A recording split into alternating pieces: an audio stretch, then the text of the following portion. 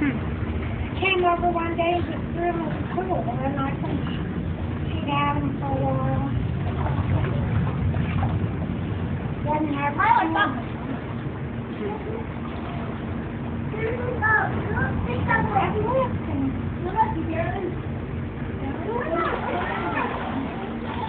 And we've got some of those noodles at the house, so that's Yeah, about it.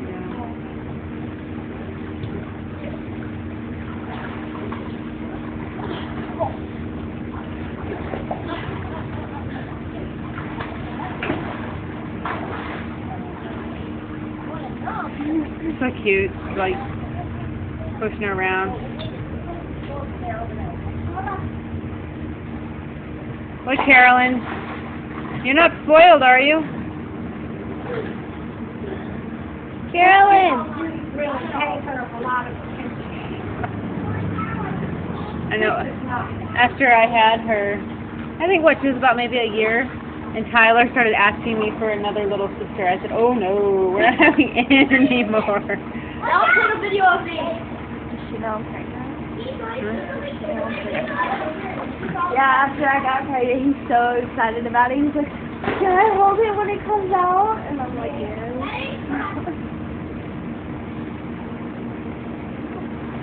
I got a little pick with my grandson, quite a bit older than his One day, had just his fit that something.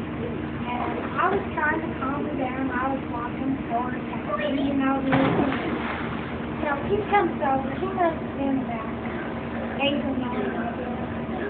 Every, I let him so he's walking around, passing all that. She's just screaming, Bertie said to her up here. Here, Mom, she's yours. What?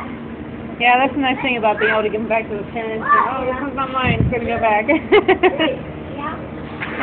You're gonna have one you take care of. I'll get to do that pretty soon. real good. Let's go to What? Yeah, both of my boys just like they fell in love with Carolyn. In fact, when they go visit their dad, they'll give me a call and they'll they'll call and go, "Hi, mom, can I talk to Carolyn?" So what am I, shop letter? You don't want to hi? No, I just want to talk to Carolyn. Yeah.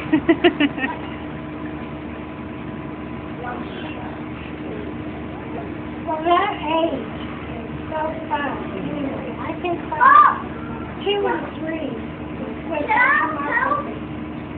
Funniest comment. oh yeah. People with children. Come get one. Not